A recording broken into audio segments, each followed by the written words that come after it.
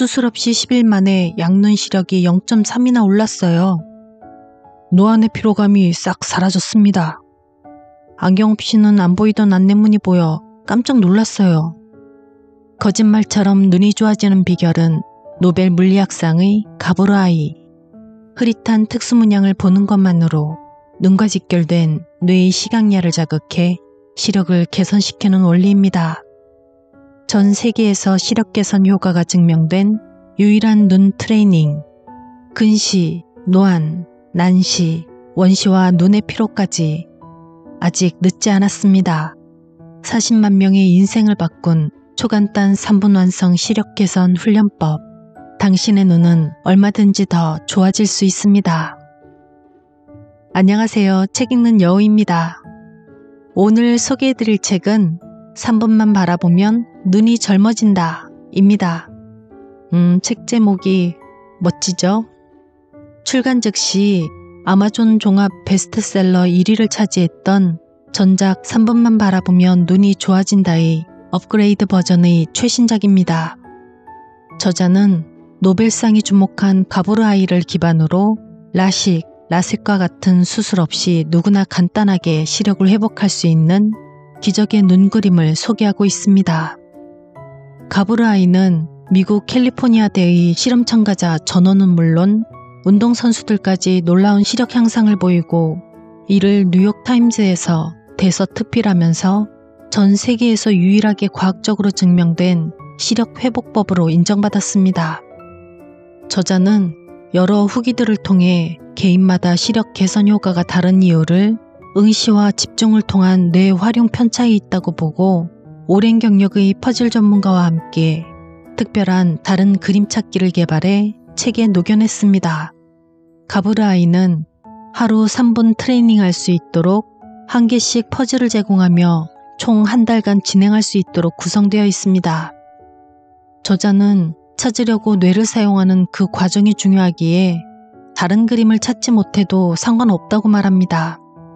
뇌를 쓰는 게 중요하니까요. 저도 이 가보르아이를 시작한 지 일주일 정도 지났는데요. 저는 시력이 좋은 편이라 큰 차이는 느끼지 못했습니다. 영상 속에서 실전에 임할 수 있도록 몇 개의 가보르아이를 준비했으니 시도해 보시면 좋겠습니다. 그럼 3분만 바라보면 눈이 젊어진다. 책의 일부를 함께 들어보실까요?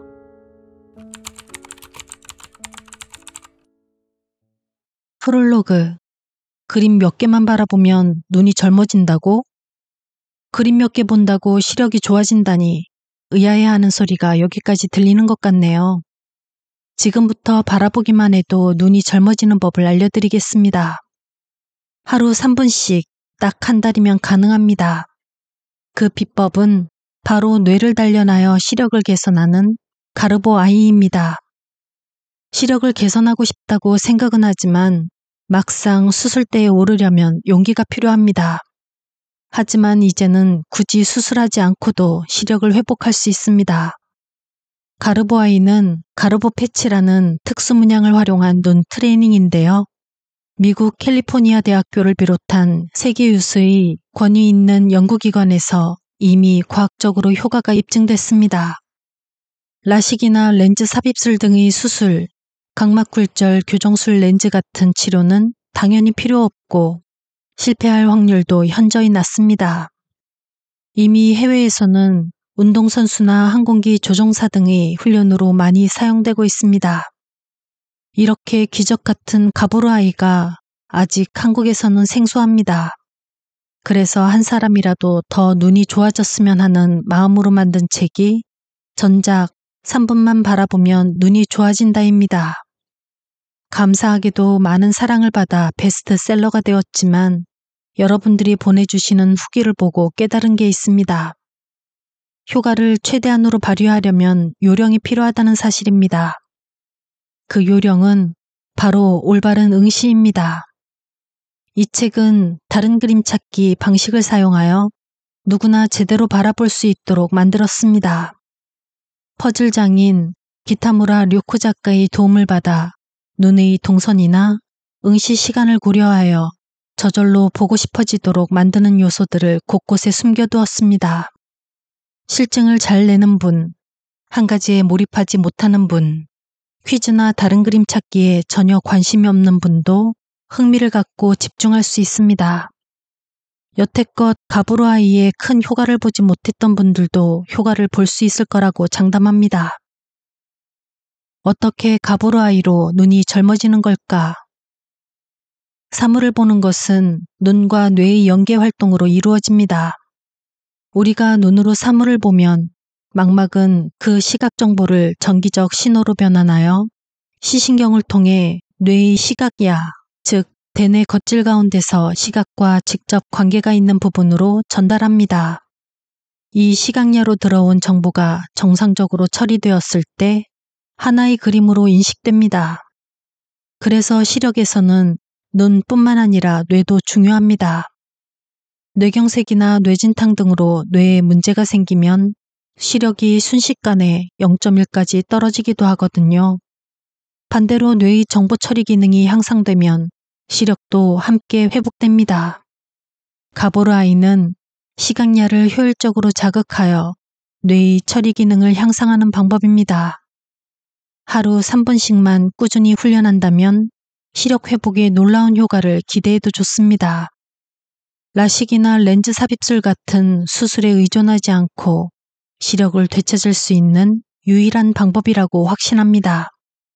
그뿐만 아니라 눈이 아닌 뇌에 작용하기 때문에 근시, 노안, 난시, 원시, 눈의 피로 등 눈에 관련된 그 어떤 증상에도 탁월한 효과가 있습니다.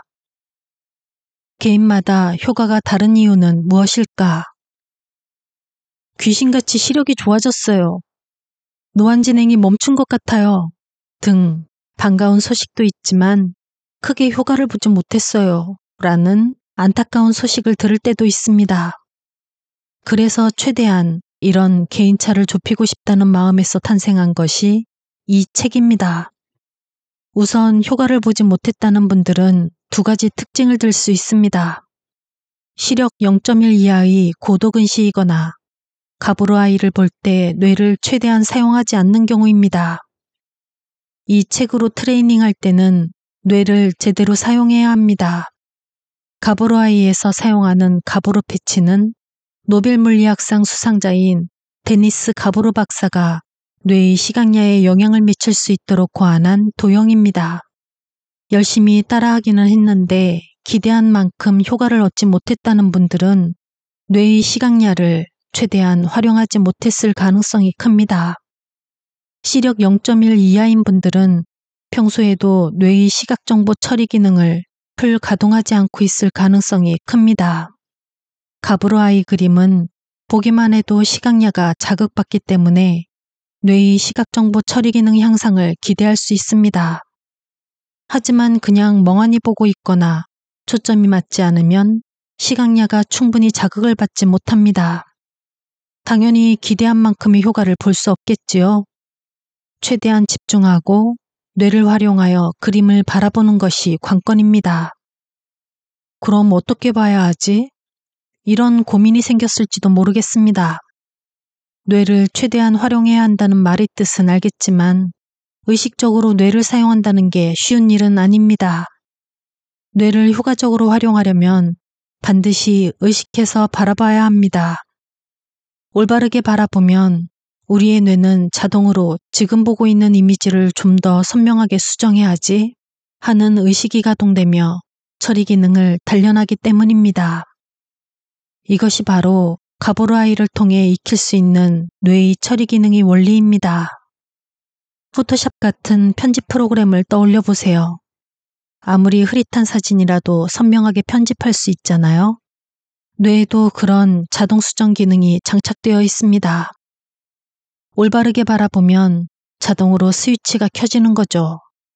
그렇다면 올바르게 응시하기 위해서는 어떻게 해야 할까요? 가장 효과적인 방법이 바로 다른 그림 찾기입니다. 어디에 꼭꼭 숨어 있는지 알 수 없는 서로 다른 그림을 어딘가에 있을 거라고 믿고 끊임없이 찾는 과정 자체가 질롭고 제대로 된 응시입니다. 남녀노소 가릴 것 없이 놀이 삼아 즐기면서 자신의 뇌를 최대한 활용할 수 있는 비법인 셈입니다. 그렇다고 다른 그림 찾기 결과에 일희일비할 필요는 없습니다. 솔직히 굳이 정답을 찾지 못해도 상관없습니다. 중요한 것은 다른 것을 찾아내려 하는 과정이거든요. 드디어 실전, 가보르 아이를 해봐요. 포인트 1. 밝은 장소에서 책과의 거리는 30cm 이상 떨어지세요. 평소 책을 읽을 때와 비슷한 밝기에서 훈련하세요. 너무 어두우면 눈을 잡고 책에 가까이 가져가게 되니 주의해야 합니다. 책과 눈의 거리는 30cm가 적당합니다. 너무 가까운 거리에서 계속 바라보다 보면 근시의 위험이 있습니다.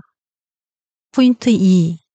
처음에는 하루 3분, 2주 동안 훈련하세요. 효과에 대한 확신이 없으면 지속하기 어렵습니다. 브로그의 시력감사표로 셀프 측정을 하면서 동기부여를 받으세요. 지나친 의심보다는 편안하고 즐거운 마음으로 하루 3분씩 가볍게 훈련하길 바랍니다. 포인트 3. 조용한 환경에서 진행하세요. 조용한 장소에서 책을 펼쳐주세요. 인간의 인지 능력에는 한계가 있어서 다른 자극이 있으면 산만해집니다. 배경음이나 소음 등이 없는 곳을 추천합니다. 시끄러운 환경에서는 뇌가 가브르아이 처리에 집중할 수 없습니다. 포인트 4. 몸에 이상 증상이 느껴지면 즉시 멈추세요. 가브르아이는 뇌를 단련시키는 시력 개선법입니다. 뇌에 과부하가 걸리면 현기증이나 두통을 일으킬 수도 있습니다. 불편함을 느끼면 즉시 훈련을 멈추고 휴식을 취하세요. 지금부터 가브르아이를 경험해 보실 수 있도록 몇 가지 소개해 드릴 텐데요. 읽어드리는 방법에 따라 진행하시고 화면을 잠시 멈춰서 진행하시면 되겠습니다. 첫 번째, 미로 탐험. 좌우 페이지의 줄무늬 모양이 다른 쪽으로만 이동할 수 있습니다. 빨간색 화살표에서 출발해서 파란색 화살표로 도착해 보세요. 화면을 잠깐 정지하시고 진행하시면 됩니다. 정답을 표시해 드리겠습니다.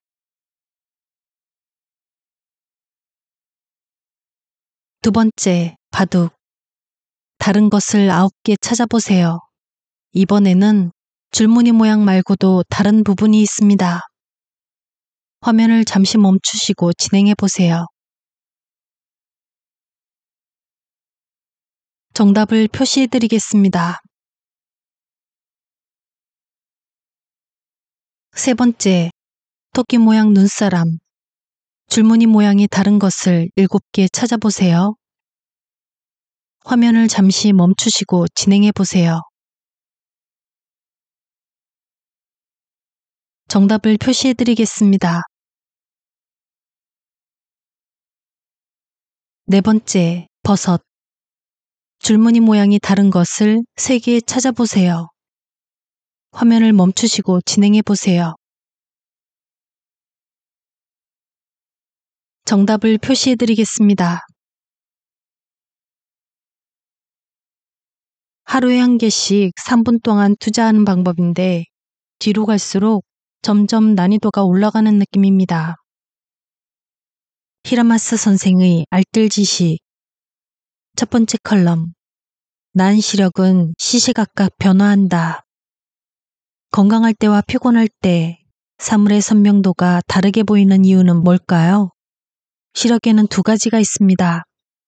안경이나 콘택트 렌즈를 착용했을 때의 교정 시력과 착용하지 않을 때의 나은 시력입니다. 그중 나은 시력은 눈의 피로도에 따라 달라지기도 하는데요. 하루 중에서도 아침과 저녁이 다르고 평일과 주말에도 차이를 보입니다. 그러니 이 책의 특별 부록에서 나은 시력을 체크할 때 결과에 일희일비 할 필요가 없습니다.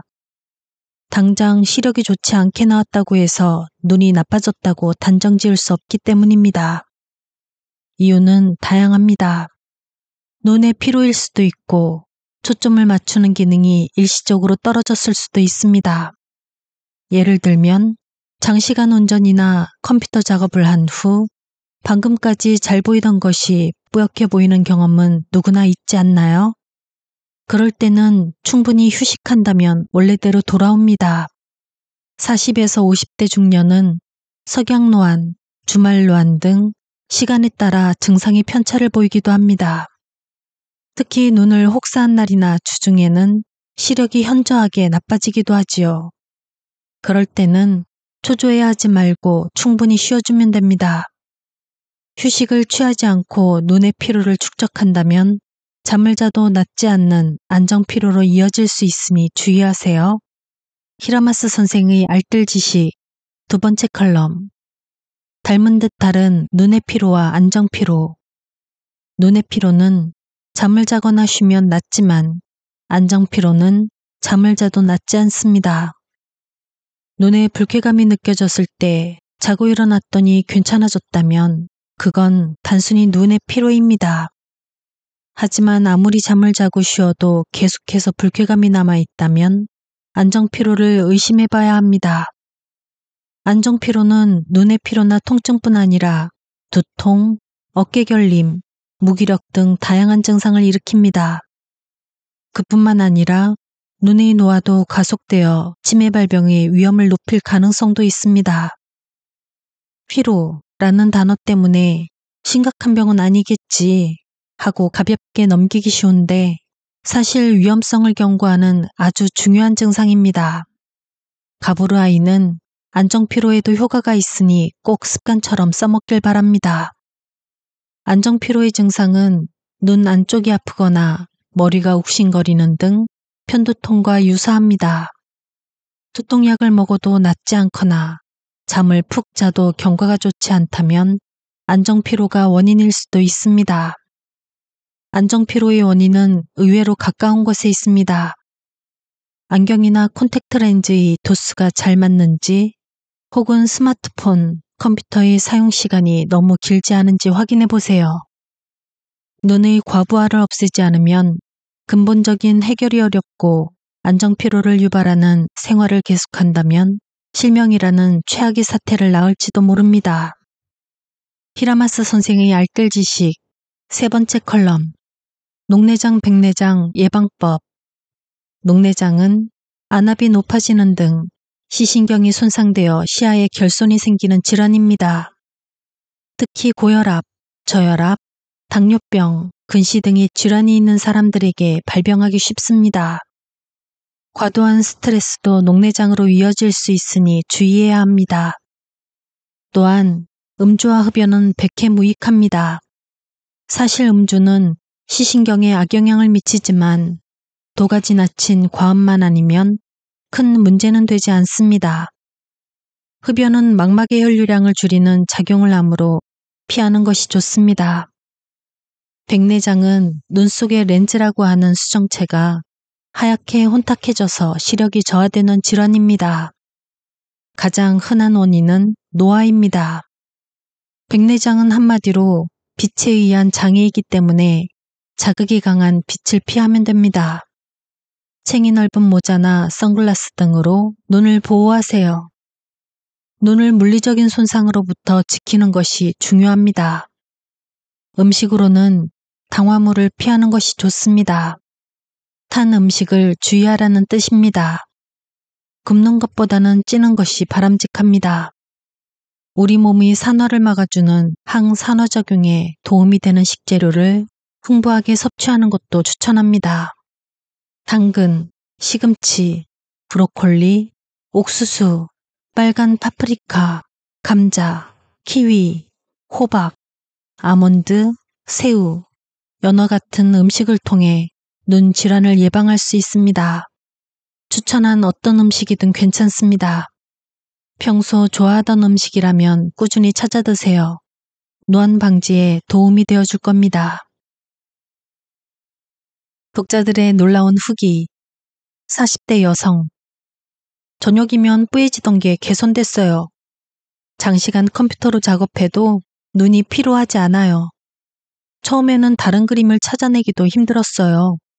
그런데 계속하다 보니 서서히 눈에 들어오기 시작했고 나중에는 하나하나 또렷하게 보이면서 다른 곳을 척척 찾아낼 수 있게 되더라고요. 평일에는 장시간 컴퓨터로 업무를 해야 해서 저녁만 되면 시야가 뿌옇게 되면서 잘 안 보이고 어깨 뭉침도 심해서 애를 먹었습니다. 그런데 훈련을 시작하고 나서는 온종일 쾌적하게 지낼 수 있게 되었어요. 40대 남성. 2주 만에 효과를 실감했어요. 안경 없이는 읽을 수 없던 안내문도 보이더라고요. 안경을 안 끼면 0.3 정도 되려나요?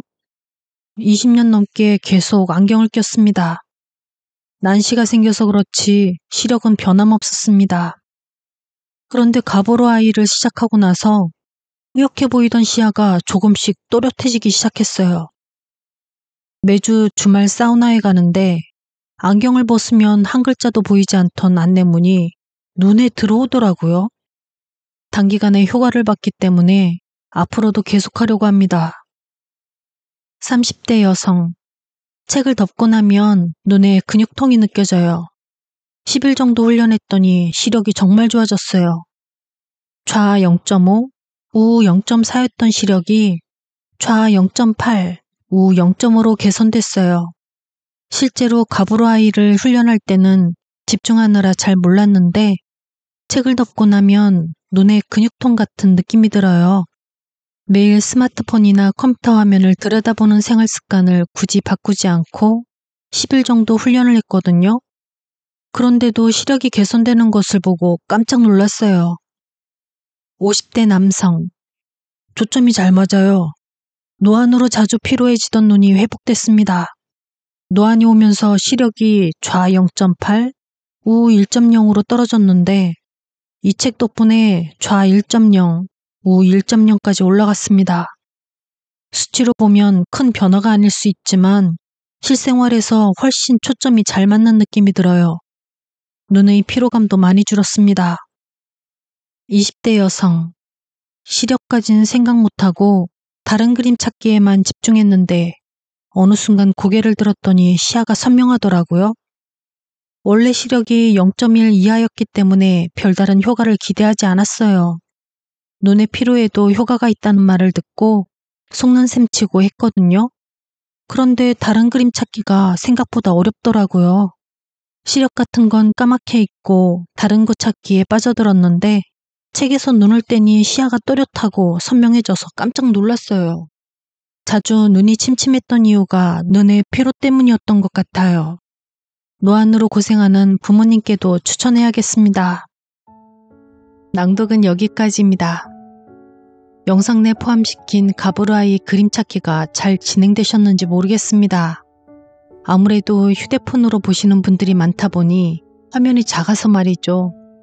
저는 다른 건 몰라도 패턴을 비교하며 안구를 굴릴 때 마치고 난 뒤 뻐근한 느낌이 들더라고요. 음, 초기에는 이게 과연 시각냐, 즉 뇌를 잘 사용하고 있는지 아닌지 의아스럽기도 하고 다행히 후기를 보니 저만 그런 것이 아니라서 안심하고 다음을 진행하고 있습니다. 익숙해지면 길이 보이고 잘 찾게 된다고 하죠. 요즘 뇌를 활용해서 할 수 있는 치료법들이 참 많이 나오는 것 같습니다. 눈, 허리, 거기에 체중 감량까지. 가브르 아이가 치매에도 도움된다고 하니 이 책으로는 눈과 뇌를 연결해 보자고요. 저는 여기서 인사드리겠습니다. 행복한 하루, 편안한 밤 되세요.